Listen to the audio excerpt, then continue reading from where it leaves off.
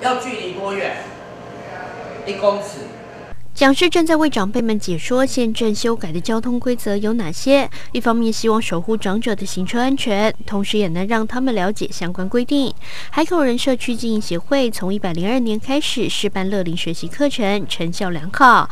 不仅长辈乐学习，就连新住民姐妹也时常来报道。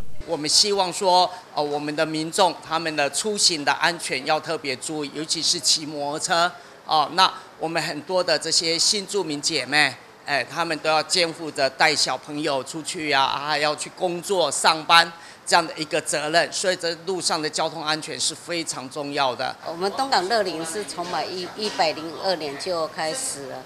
所以，我们每天早上，我们针对的就是五十五岁以上的哦老人哦，五十五岁以上，他平平常都没有工作，然后我们就开很多课，电脑课，还有手工艺的课，然后还有呃，我们刚才讲的呃，我们的曾老师讲的是呃交通安全的课，因为主要是让老人家能够学习哦，不断的学习，不要说在家然后一直看电视。那希望五十五岁以上的呃都。东港的哈，欢迎来海口人社区经营协会啊，来呃报名啊，来参加，鼓励东港及周边乡镇五十五岁以上的长者踊跃来参与。而对于乐龄课程的规划，不少爷奶表示赞同，还陆续揪团来参加。参加这乐龄的哦，是对阮这个年纪来讲是最有帮助的啦。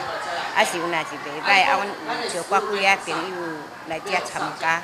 不错啊，很好，这些学习的东西很多啊。海口人经营协会表示，近年来无论是新住民或是长者，都列为重点业务，期盼让镇内的新移民姐妹及老长辈都能有个互动及交流的去处。而近期协会更规划成立物资银行，号召姐妹及爷奶参与过程，期盼能帮助更多需要帮助的人。海口人社区经营协会今年我们要推出一个新的业务，就是社区食物银行。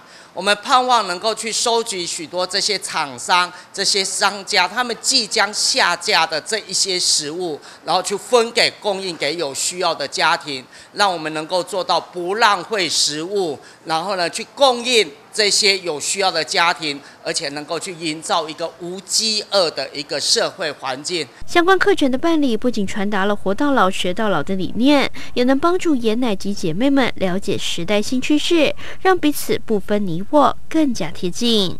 屏东主播体育相慈采访报道。